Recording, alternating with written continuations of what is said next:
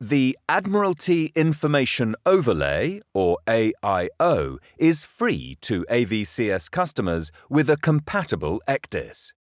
Once a customer subscribes to the AIO service, the AIO will be added to the customer's AVCS permit file.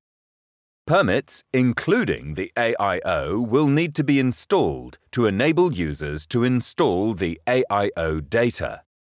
In Chart Portfolio, go to Tool and select Option. Select the S63 AVCS tab and then select Import Cell Permit.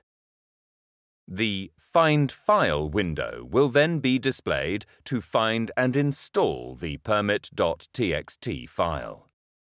To do this, select the down arrow located near the Drive box and select the location where the permit.txt file is stored. Double-click on permit.txt now displaying on the left-hand side to display the permit.txt file in the File Name window. Then click OK to install the permits. A message box will be displayed when the process has been completed. Click OK to finish.